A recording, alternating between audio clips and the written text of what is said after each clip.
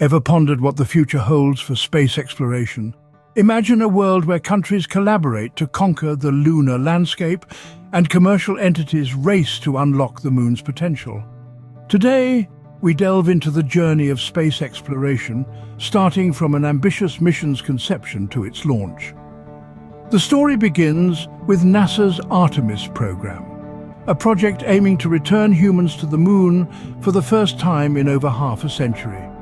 This mission, planned to land in 2025, has survived the transitions between two US presidents, thanks to its practical benefits for the commercial sector and military.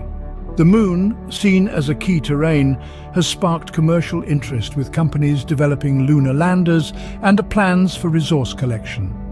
The Artemis program represents a comprehensive effort with cross-sector support to ensure success in returning humans to the moon.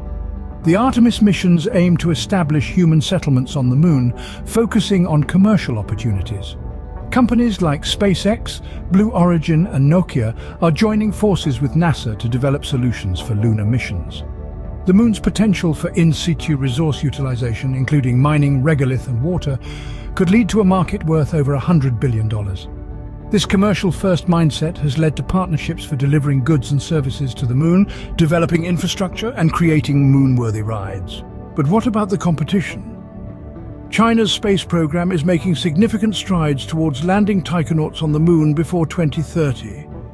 Their ambitious plans include multiple lunar missions and establishing a crewed lunar base. China's progress is fueled by its command and control economy, consistent policy making and ample funding. The US faces challenges such as budget constraints, changing political priorities and technological setbacks that may hinder its lunar exploration goals. Fast forward to today, the Institute of Space Technology announces Pakistan's historic lunar mission, iCube-Q. This mission is set to launch on May 3rd on board China's Chang'e 6 lunar probe from Hainan, China.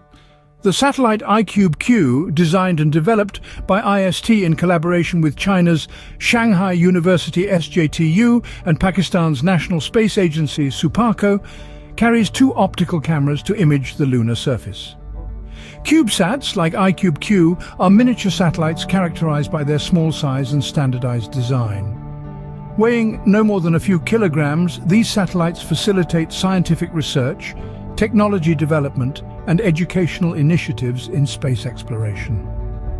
Due to their compact size and relatively low cost compared to traditional satellites, CubeSats offer opportunities for universities, research institutions and commercial entities to participate in space missions and gather valuable data for scientific advancement and innovation. To summarize, the future of space exploration is a collaborative effort between nations and commercial entities. The Artemis program aims to return humans to the moon while companies race to unlock the moon's commercial potential. Meanwhile, countries like China and Pakistan are making significant strides in lunar exploration. The launching of miniature satellites like CubeSats paves the way for more entities to participate in space missions, leading to scientific advancement and innovation. As we step into the future, we can expect more historic triumphs in our ambitious journey to conquer the lunar landscape.